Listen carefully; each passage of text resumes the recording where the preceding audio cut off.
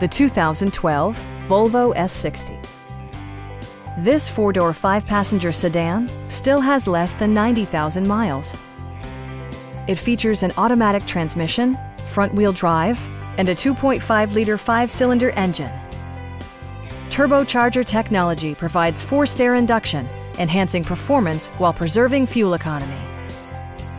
Volvo prioritized practicality, efficiency, and style by including delay off headlights, front and rear reading lights, automatic temperature control, turn signal indicator mirrors, and remote keyless entry.